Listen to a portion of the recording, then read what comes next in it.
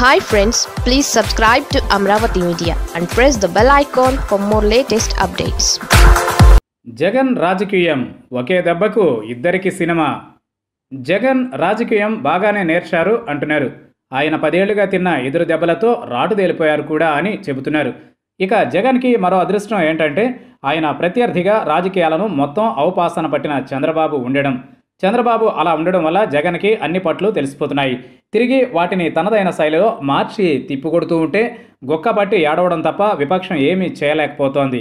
ఇక తాజాగా తీసుకుంటే జగన్ టాలీవుడ్ భారీ చీలిక తెస్తున్నారు. ఒక్క దెబ్బకు రెండు పెట్టాలన్నట్లుగా అటు చంద్రబాబుకు ఇటు పవన్ కళ్యాణ్కి కోసాలు కదిలిపోయేలా టాలీవుడ్కే ఆపరేషన్ ఆకర్షణ మంత్రం గట్టిగా వినిపిస్తున్నారు. జగన్ సీఎం అయ్యాక టాలీవుడ్ నుంచి ఒక్కరంటే ఒక్కరు కూడా అభినందించిన పాపన పోలేదు. దాని మీద థర్టీ ఇయర్స్ ఇండస్ట్రీ పృథ్వీ అప్పట్లో చేసిన కామెంట్స్ కూడా వివాదమయ్యాయి.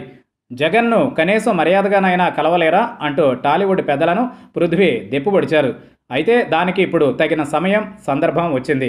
జగన్ మొదట మెగాస్టార్ నుంచే కథ నడుపుకుని రావడంతో ఇప్పుడు టాలీవుడ్ పూర్తిగా వైసీపీ వైపుగా కదులుతోంది. చిరంజీవిని తన ఇంటికి పిలిచి మరీ విందు ఏర్పాటు చేసిన జగన్ శభాష్ అనిపించుకున్నారు. దాంతో ఫిదా అయిపోయిన చిరంజీవి జగన్కి జయ అనేశారు. మరోవైపు చూసుకుంటే టాలీవుడ్లో మరో పెద్ద సినిమా కుటుంబం ఉంది. అదే ఘట్టమనేని కుటుంబం. దానికి ప్రస్తుత వారసుడు మహేష్ బాబు ఉన్నారు. ఆయన సైతం జగన్కి జై కొడుతున్నారు. ఆయన సొంత బావ గుంటూరు ఎంపీగా టీడీపీ తరఫున గల్లా జయదేవ్ ఉన్నా కూడా మహేష్ జగన్కే మద్దతు అంటున్నారు.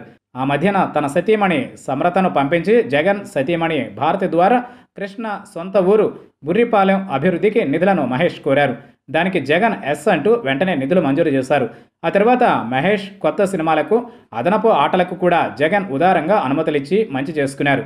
దీనికి తోడు ఏపీకి టాలీవుడ్ తరలి వస్తే అన్ని రకాల సాయం చేస్తానని జగన్ చెప్పిన మాటకు మహేష్ స్వాగతం అంటూ పూర్తి మద్దతు ప్రకటించారు. ఇక కృష్ణ సోదరుడు సీనియర్ నిర్మాత ఘట్టమనేని ఆదిశేషగిరిరావు కూడా మళ్ళీ వైసీపీలో చేరబోతున్నారని టాక్. ఆయన గతంలో కాంగ్రెస్లో ఉండేవారు. ఆ తర్వాత వైఎస్ కుమారుడు జగన్ వైపు వచ్చి వైసీపీలో కీలకమైన పాత్ర పోషించారు. అయితే ఎన్నికల ముందు ఆయన టీడీపీలో చేరారు. కానీ టీడీపీ చిత్తుగా ఓడిపోయింది.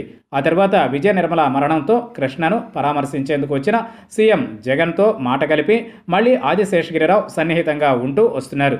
తాజాగా ఆయన వైసీపీ ఎంపీ జగన్కి సన్నిహితుడు విజయసాయిరెడ్డితో సమావేశమయ్యారు. దాంతో ఆయన వైసీపీలో చేరడం లాంఛనమని తేలిపోయింది. టాలీవుడ్లో తాజా పరిణామాలు చంద్రబాబు పవన్లకు దెబ్బగా ఉన్నాయని అంటున్నారు. ఏకంగా సొంత అన్న చిరంజీవి జగన్ని పొగడడం ఆయనతో వరుస భేటీలు వేయడం జనసేన మీద పొలిటికల్గా తీవ్ర ప్రభావం చూపిస్తుంది అంటున్నారు. పవన్ సినీ నటుడిగా రాజకీయ నేతగా ద్విపాత్రాభినయం చేస్తున్నారు. దాంతో ఆయనకిప్పుడు ఏది బయటకు మాట్లాడలేని ఇరకాటంగా ఉందని అంటున్నారు. అలాగే చంద్రబాబు బావమరిది సినీ నటుడు బాలకృష్ణకు కూడా ఇది ఇబ్బందికరమే.